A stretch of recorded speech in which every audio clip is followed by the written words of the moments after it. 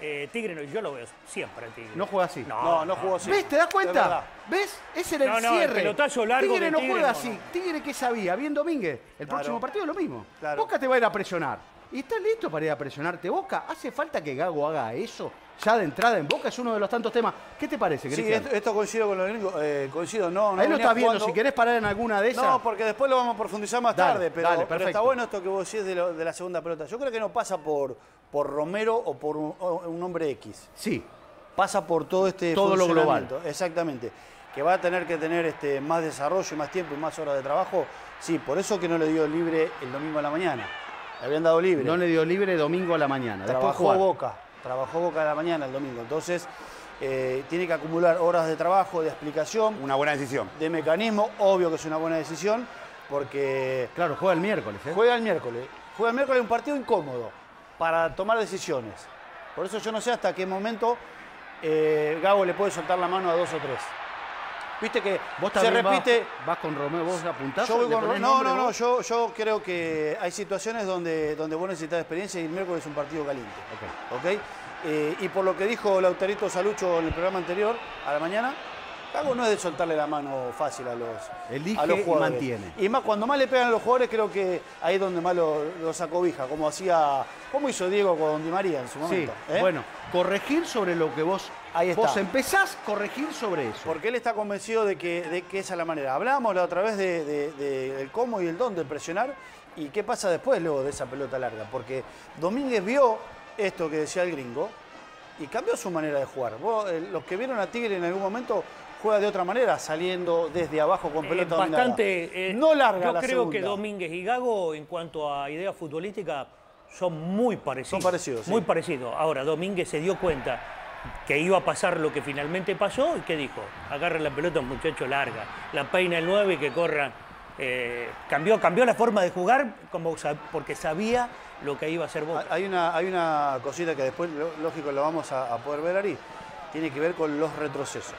Lo hablamos el otro día. El tema de retroceso de Boca es importante.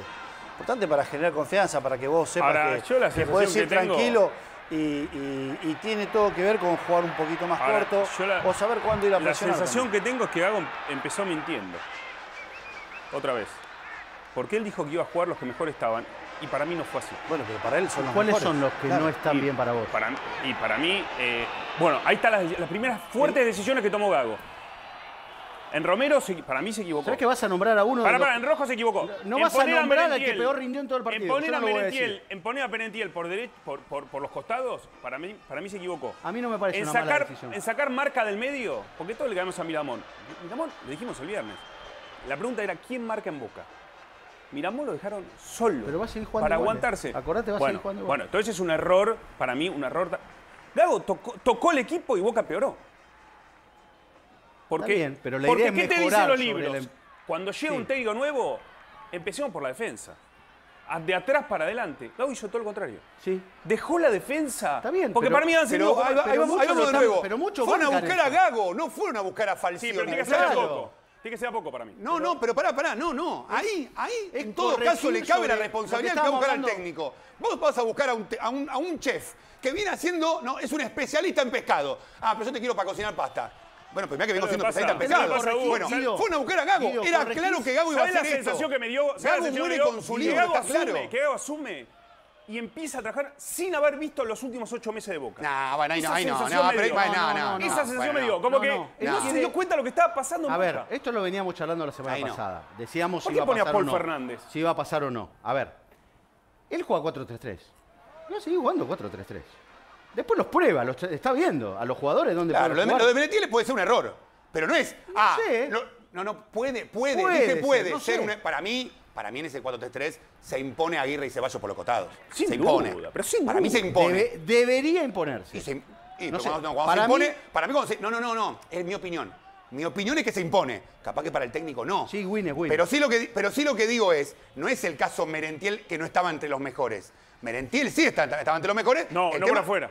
El tema es que lo corre a una posición que él Deja de pensó estar que entre los mejores. Está bien, pero entendés Y cuando deja de él- estar entre los mejores, Lucas. Cuando vos hablas de otra cosa, estás hablando de un nivel individual, no de, para jugar de lateral. Para no mí- lo puso a Merentiel de arquero. Para vos, por afuera. Pero no lo puso a Merentiel de Para arquero. vos, por afuera, para jugar por afuera. ¿El Changuito Ceballos no está entre los mejores? Acabo de decir que para mí se pero impone. algo pasa con pero el no es que, no es que está poniendo, lo está poniendo de 5 a El Merentiel. changuito, algo momentos pasa de- con el changuito porque ningún técnico lo pone. Son momentos de. Ah, bueno, Por pero ahí no lo ven bien Bueno. para arrancar de titular. Ah, bueno, algo pasa con No, el no, sí lo vieron para arrancar el titular. Si no lo ponen ahora para jugar, ya para mí lo voy a tomar como un capricho. Ahora, eh, Segundo partido, cosa- que segundo partido. Lo que pasa es que, que Guido. eh, Es que no puedes perder tiempo, Lucas. Bueno, está bien, pero Segundo Capricho partido no te quedas es- afuera, ¿eh? Capricho no es dos partidos. No, yo creo que, que- que la idea en sí es decir, vamos a presionar porque ¿qué pregonó? Claro, ser protagonista. Sí. Ahora, eh, todo tiene un trabajo, tiene un proceso. La idea de ir a presionar y quitarle la pelota hacia arriba está bien, de visitante está. Boca hace un montón que no gana de visitante, Lucas. Vos tenés más Cuatro partidos ganó el año y perdió 22. 10. Bueno, no es Cuatro normal. de 22 en el bueno, año. No es normal, pero esto no pasa por Gago. ¿eh? Pasa por, por, Sí. por, por, Pero insisto que fuiste a buscar a Gago. no fuiste a buscar a no, otro bien, técnico está que bien. sabés que es A un mí me piloto de gusta tormenta. Esa, esa, esos dos, tres primeros minutos donde vos vas y decís, acá estoy yo.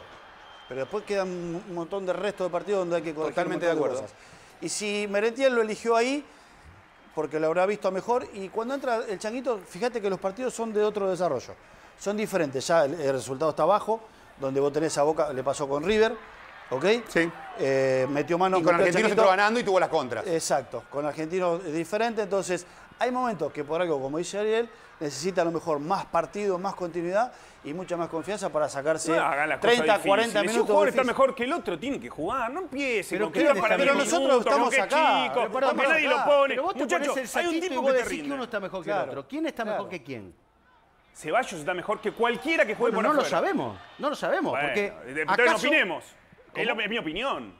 Pero Es mi lo, opinión. él los ve en las... Y yo él- creo que como opino yo, Porque- opina el 90% de los hinchas de Boca, que Ceballos, Que cada vez Ceballos- que entra, hace que. Para Sí, jugar para por el afuera. puesto parece Al mejor, lado sí, de sí, eso no hay Merentiel, duda. que lo pones en una situación que Eso no, no hay que duda. no- Mirá, no siente especialidad. Vamos a hablar un poquito de Merentiel. Vamos a hablar un poquito de Merentiel a ahora, tirarse. ahora, La pileta. qué sé yo, ¿qué querés que te diga? Me van a tratar de viejo meado. Eh, ¿Pero por qué? ¿Por qué?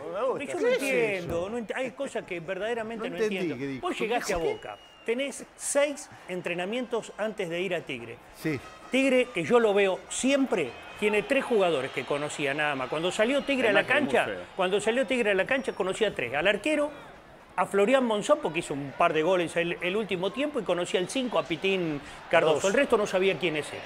Eh, con todo respeto, y después me desayuné que hay algunos jugadores muy interesantes. Estaba como el- último en la anual, Tigre. Bueno, a ver, vos tenés, llegás a Boca, físicamente no tenés que trabajar, porque venía de una pretemporada. No había hecho una pretemporada con el Ron Boca. Entonces tenés seis entrenamientos, tenés que hacer cuatro o cinco partidos. Jugá con la quinta, jugá con la cuarta, jugá con excursionista, hace un partido con Temperley, hace otro partido con, con San Telmo, Para no hacer- sé. para hacer 10 goles cada Para, partido. para, claro, Para y para que vos puedas ver, no, porque los videos te, te- te entregan imagen naturalmente, pero no tienen sensibilidad. Vos tenés que estar ahí cerquita, viendo cómo se desarrollan los partidos. Si hubiese hecho esto, Gago, no cuatro arcos, eh, trabajo mecanizado, mezclado, eh, rondo, esas boludeces que hacen ahora, no tiene que cambiar que todo el, el andamiaje de del equipo en el entretiempo, porque se equivocó. Si vos en el entretiempo cambiás todo, es porque lo del primer tiempo salió mal. Tigre no lo definió en el primer tiempo de casualidad. Le pudo haber hecho entre Boca en el 5 primer y tiempo 7 fue el goles. Tigre le pudo haber hecho entre miércoles, ¿eh? 5 y 7 goles. Si les gustó el video, suscríbanse para más información y activen la campanita para mantenerse al tanto de las últimas novedades.